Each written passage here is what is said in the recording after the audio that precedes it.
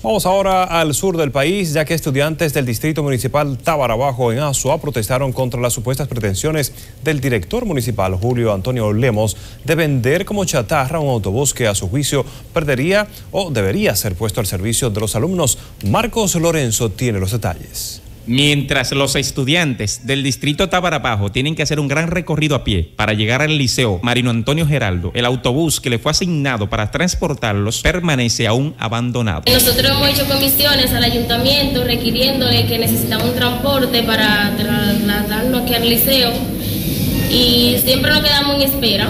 Mire el autobús ahí donde está. Yo tengo un taller que lo que fue fue a buscar goma ya para ponerle tabla abajo, no hacerle en el minibús. Mira el camión donde está, abandonado. ¿Mm? Aquí no hay, aquí no hay, aquí no hay síndico. Aquí lo que estamos es mal pasando.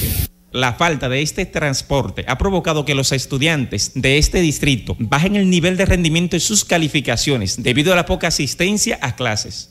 Nosotros no tenemos transporte escolar, donde estamos pasando muchas necesidades, principalmente los estudiantes de orégano chiquito, porque cuando ellos llegan ya se ha dado dos o tres horas de clase, muchas veces de matemática, física, química, lengua española. Ellos tienen que comenzar a copiar. Al llegar tarde pierden muchas veces las explicaciones. Y además que esos estudiantes de orégano chiquito, cuando llueve, le crece el río y si no hay un transporte, los muchachos el otro día muchas veces tienden a no venir porque tienen los uniformes mojados.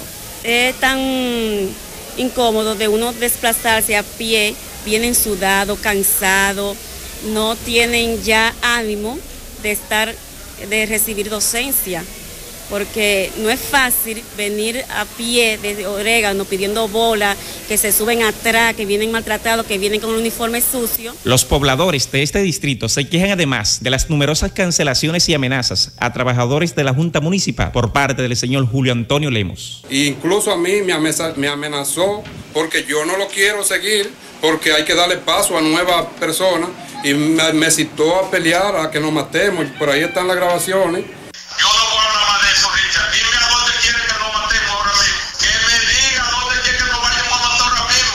Yo estoy aquí en el ayuntamiento y si quiere dice que nos pongamos una parte para que vamos a matar. Desde el distrito Tabarabajo, para NCDN, Marcos Lorenzo.